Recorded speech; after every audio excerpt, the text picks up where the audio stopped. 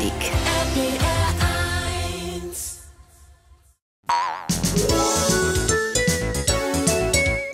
Uh, ich bin's Nadja und ich habe ja gehört, Kunstlein sucht eine Urlaubsvertretung für mich. Ist ja auch alles grundsätzlich eine schöne Idee. Wäre allerdings schön, wenn man da auch ein bisschen auf das eingeht, was da eigentlich gebraucht wird. Also hier Make-up und High Heels, ja, ist alles gut.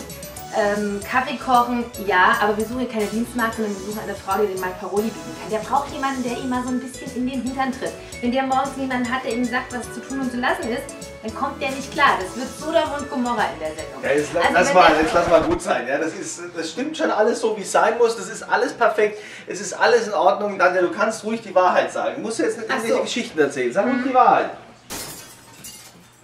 Also ne Mädels, wir brauchen hier jemanden, der ein bisschen Bambule machen kann. Sonst wird ihm auch langweilig. Also hier nur pampern und lieb sein, nee, nee, das ist nicht Sinn der Sache. Also bewerbt euch, wenn ihr meint, ihr könnt mit Kunzi so richtig schön zanken im Studio. Dann äh, nadja.rpa1.